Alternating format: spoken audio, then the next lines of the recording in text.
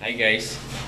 Sa vlog na to, pakita ko sa inyo kung paano gagawin yung ABCB na TV Plus to Jimmy for the box para hindi na tayo bibili ng Jimmy na for the box. Pero yung TV ko, actually, na, naggawa ko na siyang Jimmy for the box na channeling na nagiging channel 1 na yung GMA na dating ibig po yung channel 1 nito. So yun po guys, ipakita ko po sa inyo kung paano nagiging GMA for the box yung channeling ng TV Plus ko. Okay? Ang una natin gawin guys, ilipat natin sa channel ng yan, naka GMA yung channel natin. So GMA yan. Sunod, ang gagawin natin dito sa remote natin ng TV Plus, i-scan natin yan. Pindutin natin yung scan. Yan. Would you like to scan now? Yes. Okay, okay lang. Yan. Magsi-search siya guys.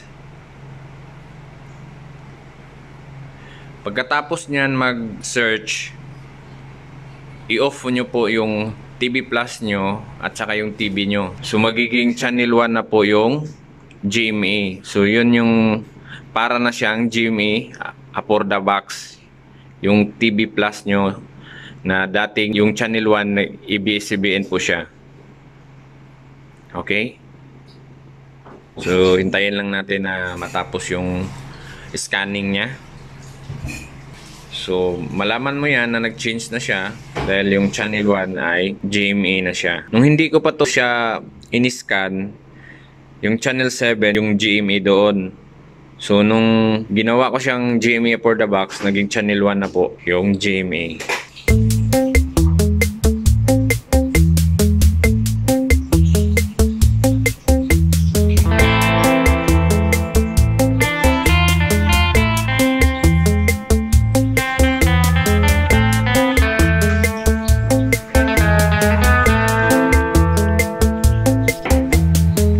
Guys, uh, tapos na po yung scanning niya.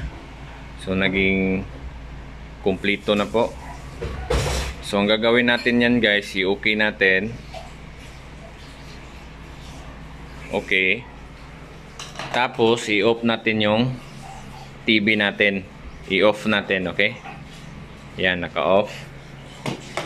Tapos yung TV Plus natin, i-off din. Yan, naka-off. Alright. So, basta magiging channel 1 yung GME. Yan na po yung time na nagiging GME for the box yung TV Plus natin. Okay, on natin ang TV. Yan. Tapos, on din natin yung TV Plus. Yan, naka-green na siya. Ang gulo naman dito. Yan, naka-green na siya. So, yan. Tingnan natin kung yung channel 1. Yan, GMA na po, yung channel 1. Yan. So, yung channel 2 is GMA News TV. Channel 3 is Heart of Asia. Yan, Jimmy 1 seg. So number 5, yung channel 5. Yan po.